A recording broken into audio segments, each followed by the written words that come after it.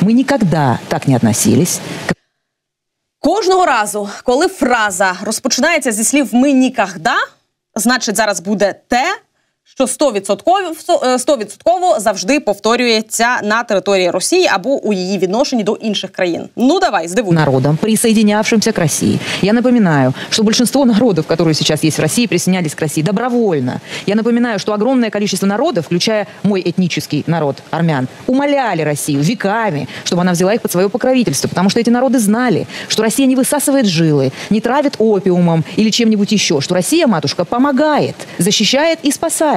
И эти наши окраины, которые они считают колониями, никогда не были колониями, они становились просто нашими. И дальше они становились нашим форпостом, нашими укрепленными границами, абсолютно добровольно и с огромной любовью.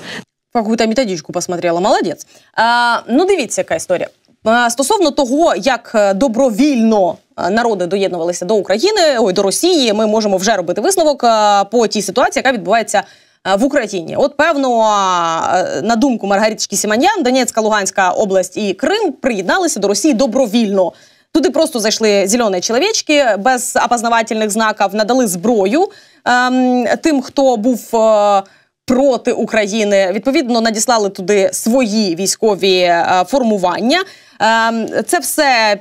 Підкріпили російськими грошима, назвали це російським міром, і відповідно ми можемо робити висновок про те, як добровільно приєднуються території до території Росії е, з огляду на оці виступи Маргариточки Сіманян. А якщо навіть хтось просив покровительства у Росії, то це знову ж таки знаєте, взять над кимось шефства, допомагати. Це не винищувати культуру і не зрівнювати її з культурою Росії. Тобто, якщо НАТО бере покровительство над певними е, державами. То у кожної держави зберігається свій суверенітет, свій погляд, своя думка, своє е, сприйняття ситуації, але вони всі під е, парасолькою НАТО.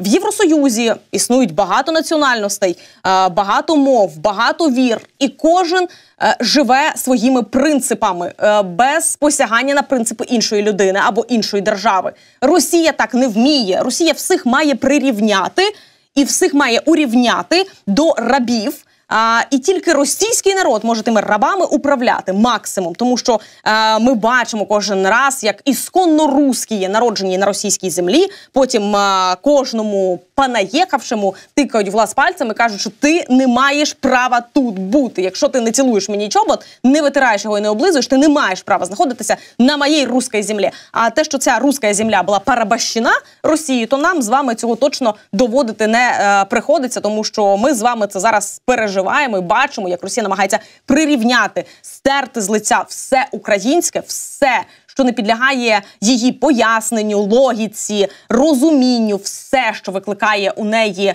дискомфорт, а це все українське. Вона намагається знищити, вбити, стерти з лиця землі, виключно для того, щоб е, тут запанував руський мір. Тому о, знову ж таки, неуважаєма нами Маргариточка Сіманьян, тобі би вчасно було би заткнутися, але звісно, ти не можеш цього зробити, тому що методичка ще не дочитана. происходит навязанное молдавскому народу голосование об изменении в Конституцию, которые позволили бы им вступить в ЕС. Происходят выборы президента, которые похожи на выборы только тем, что они называют слово «выборы».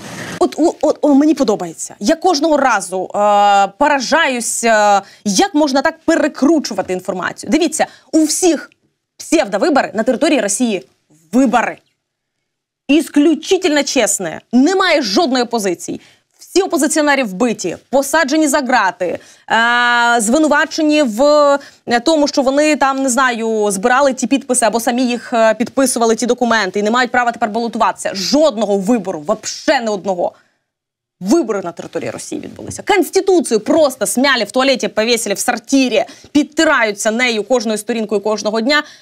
Вибори на території Росії. Візде псевдовибори. В Молдові що заважало провести вибори? Звичайно, країна проводить вибори нормально. Та в неї є окуповані території, на яких би теж треба було би провести вибори. Е, окуповані Росією, нагадаю, але тим не менше.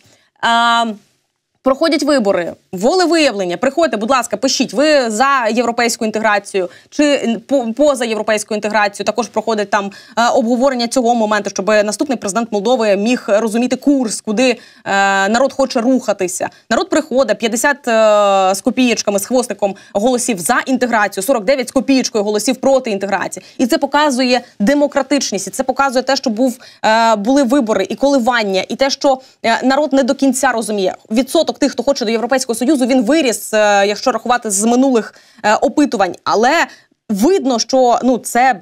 Прямо перевірка, це методологія, це е, розрахунок цих голосів е, відбувався. Не так як на Росії 87-88% постійно підтримують Путіна. Ну інколи цей відсоток падає до 82, але не не менше. Все далі не можна, бо то буде страшне і сумне. А Вибори відбулися. Да, ну 50% голосів не набрала е, Санду, але ну буде другий тур виборів і будуть змагатися знову ж таки проросійський кандидат має Санду, е, яка бачить свою країну в європейському майбутньому. В чому проблема? Що у вас виникає питання до того, як були проведені вибори? Вибори проведені демократично. Якщо ви не чули про такий спосіб, то це ж не означає, що вони проведені якось неправильно. А я вам обіцяла, що жартів в цьому випуску буде дуже і дуже мало. Ну хіба що вот. Не собрался он бомбить. У них просто гонка предвыборная вступила в решающую стадию. Остались считанные дни до самих выборов. Поэтому идет э, попытка любыми способами привлечь к себе внимание избирателей и показать себя, как они считают, слушать страны. Естественно, сами никогда не узнают, что на самом деле он говорил Владимир Владимировичу, э, когда с ним беседовал, но я далек от мысли, что он рискнул бы нечто подобное сказать в ходе беседы с нашим президентом. Вадим Вадімовичу, мені так подобається кожного разу, як вони якось так називають е, Путіна, що кожного разу ти не можеш зрозуміти, як же його звати. Вадим Вадімович, Владимир Владимирович е, не вимовляють половину буків, звук. Ой, коротше. Е, що ж такого смішного нам вирішив розказати? Председатель комітету по обороні Госдуми Андрій Картаполов. Те, що сказав Трамп в інтерв'ю, він сказав, що колись попереджав в особистій розмові Путіна про те, що якщо він нападе на Україну, то відповідно Трамп знесе йому купола. Маючи на увазі, що Красна площадь буде під ударом. Він сказав це, каже: я тебе ну там, типа люблю і поважаю, ти друг мой. Е, Владимир Путін. Але вибач, якщо так станеться, то мені доведеться трошечки, знаєте, куполата твої побять. Е, ну і от це карта полову виявляється дуже смішно. Так, дійсно ніхто ніколи не дізнається, про що Трамп говорив із Путіним. Е, є певні висловлювання Трампа, є певні думки з того приводу Путіна, але через кілька тижнів вибори в Сполучених Штатах. Тому ми, як там кажуть, подивимося, хто стане на чолі Сполучених Штатів. Ну і відповідно, якщо це буде один із кандидатів, хто цю заяву зробив, то подивимося, як ці заяви будуть втілюватися в життя. Залишилося недовго. Не впевнена, що карта полову по ітогу цих самих виборів буде аж так смішно.